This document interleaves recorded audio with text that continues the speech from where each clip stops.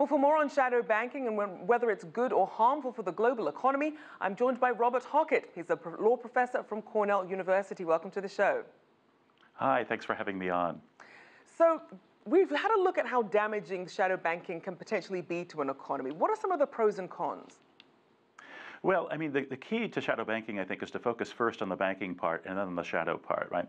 The banking part, the reason people call shadow banks shadow banks is because of one particular uh, feature uh, of the balance sheets of the shadow bank, which essentially replicates that feature uh, uh, that you find in a regular bank's balance sheet.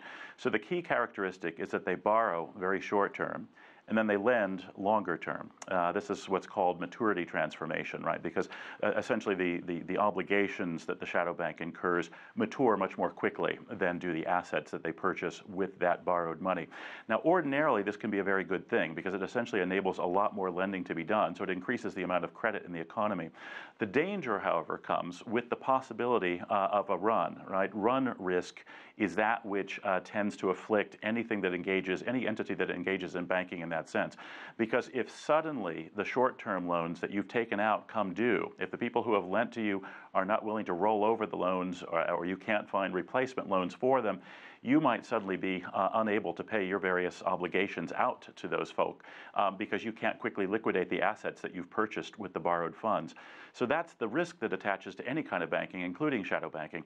Right. Now, the problem with the shadow, right, the problem comes in with the shadow. We regulate banking very carefully, specifically because of that very risk. Shadow banks are not regulated as regular banks, and hence we don't have the usual safeguards against that run risk that all banks that engage in maturity transformation are subject to. Now, I'd like to bring in Brian Wolfe, a finance professor from the School of Management from the University of Buffalo. Brian, are there ways that shadow banking can have a positive effect on the economy? Yeah, absolutely. So shadow banking is, uh, is a really large part of the U.S. economy at this stage. So if you take a look at the volume of credit intermediation that's occurred in the last year, uh, half of that's come through shadow banks, uh, the other half through the traditional banking system. I mean, even just taking a look at residential mortgages, if you, if you look at the volume of uh, FHA type loans, so riskier loans that were originated in 2015, 70 to 80% of those were originated by shadow banks. 40% uh, of conventional loans, uh, mortgage loans, were originated by uh, shadow banks. And, and so they're really kind of a, a key piece of our economy already. So, Robert, what's driving the need for these shadow banks to exist, and who are the big winners and losers? Well, there's a great need for credit in any economy, and in particular, as the economy is growing, there's a great need for uh, for, for, for, for, credit. Uh, and the shadow banks essentially are represent another form of credit, right, or another source of credit for those who need it. Um, it's probably also true to say that shadow banks in the United States are much less shadowy than they were before the crisis, right? Because one of the most important features of the Dodd-Frank reforms uh, that were, of course, put on the books back in 2010 was precisely to bring uh, the shadow banks, what were then known as shadow banks, sort of into the ambit of regulatory authority, primarily by the Fed, which of course is one of the principal bank regulators as well. And what that means ultimately, I think, for the US at least, is that what used to be called shadow banking probably shouldn't even be called shadow banking any longer. It should probably be just called alternative forms of credit intermediation. And it works pretty well, uh, as Brian suggested. Um, China, I think, however, has to be very careful because as, I, as far as I can tell, China is not yet regulating shadow banking in the way that the United States is. And in that sense, shadow banks in China really are still shadowy in a way that I don't believe ours are, uh, you know, at least in comparison to what they were back in 2008. So then, Brian, would shadow banking still exist in a healthy banking system where lenders were more willing to give loans to businesses?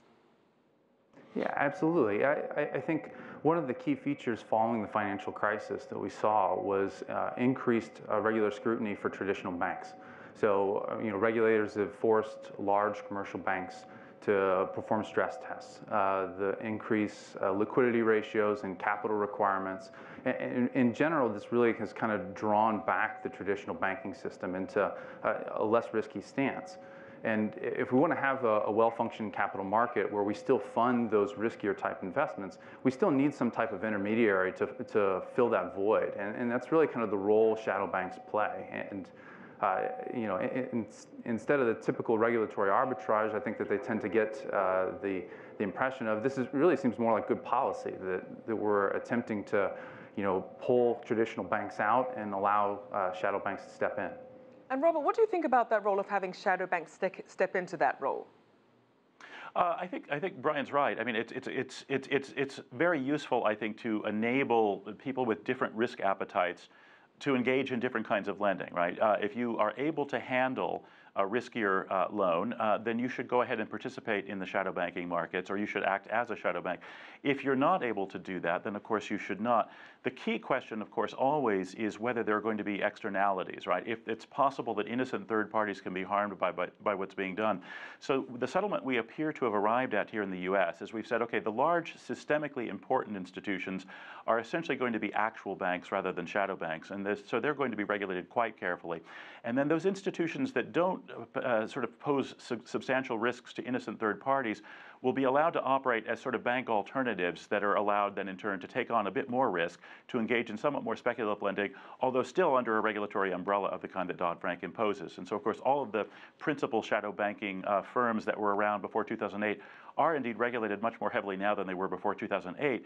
But that being said, if they're not systemically important, they're not regulated quite as carefully or as closely or as tightly or strictly uh, as proper banks are.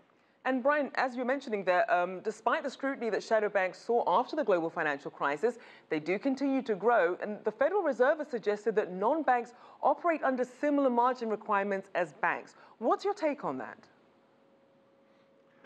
Well, I, I, think, again, the, the focus from the regulator's perspective has, has been on the traditional banks to require them to be safer. I, I think allowing the non-banks, these shadow banks, to, to be risky, I, th I think that gives them opportunity for other things too, like innovation in the financial markets. When you look at things like fintech, uh, blockchain, uh, smart contracts, these are like innovative new technologies that are really kind of poised to disrupt the intermediation space. And so allowing uh, some of those more open uh, requirements for these non-banks, I think is critical to allow them the, the room to play there. Um, now, Brian, I'm sorry, um, yes, Robert, much has been said about how damaging the shadow banking can be. You mentioned some of these innocent parties that could potentially get hurt. But do the risks outweigh the benefits? Uh, I, I, I, don't think, uh, happily, I don't think we have to choose, right? I mean, I don't think you have to choose between risks and benefits here. Uh, I think you can actually maintain or retain most of the benefits while at the same time substantially reducing the risks, right? One way to do that is to impose certain liquidity requirements on shadow banks, to say, look, you have to have a liquidity buffer that enables you essentially to kind of pay uh, uh, your creditors once your loans come due in the event that there's some sort of a contraction, some sort of an event whereby those who have been lending to the shadow banks decide not to roll over the loans or decide not to lend in the same degree of abundance before as they did before. Another way to operate, of course, is to impose uh, uh leverage requirements, as you described earlier, as you mentioned earlier, essentially to impose higher capital buffers, while at the same time keeping those buffers less stringent than you do uh, in the case of, again, the larger traditional banks that are typically systemically important. So basically, there's always a kind of trade-off, true, but you can minimize risks while retaining a lot of the benefits simply by imposing certain common sense regulations of the kind that we really first began to impose on ordinary banks back in the 1930s. And so um, Brian, ideally, what would you like to see happen with how shadow banks are operated? Well, I, I would agree with Professor Hockett. I, I, think the, the kind of middle road seems to be the, the wise path here. I mean, we learned during the financial crisis that you know, parts of shadow the shadow banking system were underregulated, and uh, you know, as a result of uh, regulatory reforms from Dodd-Frank, you, you, see some changes in that industry. For example, the the lenders uh, that were originating loans that were lower quality loans and uh, not required to retain any of those loans on their balance sheet. Uh, now we see credit retention reforms where those, those banks or those shadow banks actually hold some of those on their balance sheet and so kind of have a skin in the game. And so, you know, really kind of this middle road, I, I think, is probably the appropriate tact. All right, well, thank you so much, gentlemen. Brian Wolfe, finance professor from the School of Management at the University of Buffalo, and Robert Hockett, law professor at Cornell University.